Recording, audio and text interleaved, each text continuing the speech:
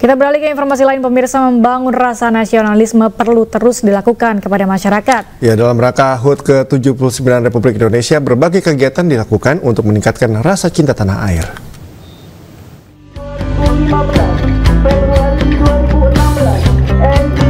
Le Mineral sebagai produk asli milik Indonesia menyelenggarakan upacara di Bundaran Hotel Indonesia pada minggu pagi.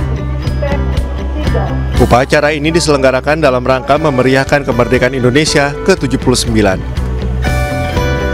Le Mineral juga mengajak lapisan masyarakat untuk mengikuti upacara ini. Berbagai profesi seperti koki, pengemudi ojek online, hingga putra-putri Indonesia berprestasi. Upacara ini pun mengundang respon positif bagi para pengunjung, yakni membangun rasa nasionalisme. Kalau kesan-kesan saya sih bagus ya untuk satu brand yang sudah sangat besar di Indonesia, terutama di apa industri minuman untuk mengadakan seperti ini.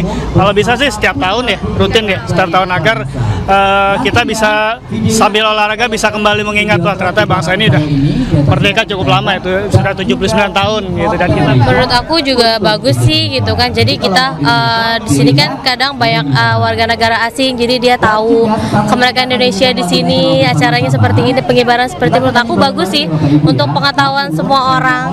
Seru banget pokoknya acaranya ini seru banget kalian harus datang ya.